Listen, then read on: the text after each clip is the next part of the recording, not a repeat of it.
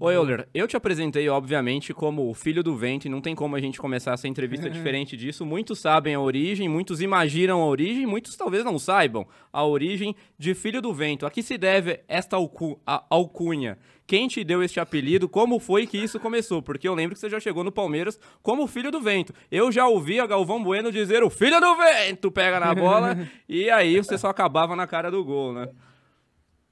Bom, na verdade começou correndo do meu pai para não apanhar. Ah! Vixe. É, a velocidade veio ali na infância. É. Tive Vixe. que correr muito. Aprontava apanhar. muito, hein? Aprontava altas confusões. Bom, mas é, é, quem me, me deu esse apelido foi o Milton Naves, da Rádio Itatiaia, aqui de Belo Horizonte. Uhum. nosso companheiro aí, seu, seu companheiro.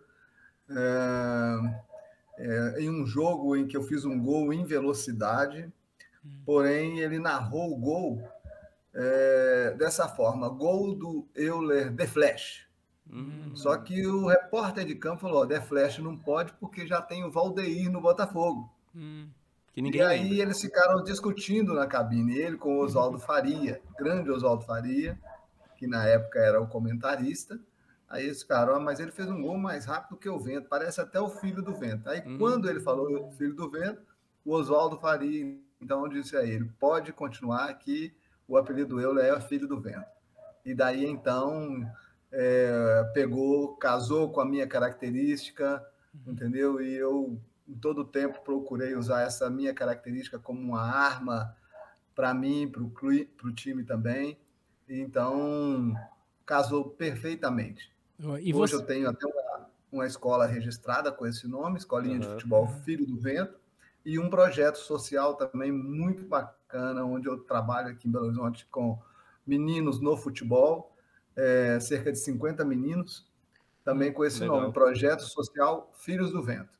Então, eu sou muito grato aí porque Deus colocou esse apelido certinho aí para o Foi. É. passar. Lo- loja de ventilador e ar-condicionado você nunca teve. Não. Tem até uma, uma, uma loja aqui chamada Vento, mas não é minha, não. É, é do seu pai, né? A loja Uhum. Vento.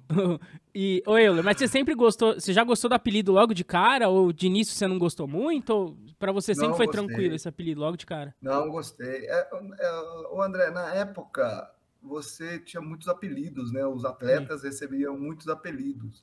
E, o- e, e você era conhecido, e ainda sou conhecido como Filho do Vento, né? Verdade. por todos esses dessa geração. Me conhecem muito mais como filho do vento do que como eu. né? É, é até engraçado quando você está na rua para a nova geração, porque os pais ficam assim para os filhos dele. Aqui, meu filho, é o filho do vento, o filho do. Aí eu falei para os meninos: filho de quem? Filho de quem? Mas realmente era uma época em que você era conhecido por apelido, né? É, a geração E- atual, o mosquito não quer ser mosquito, papagaio não quer ser papagaio, e ninguém quer ter apelido mais, né? É nome, sobrenome, né? terceiro nome, né? Hoje. E nem pode. É, então. Nossa, O- mas tá bom. É uma época boa. Sim. Época boa. É.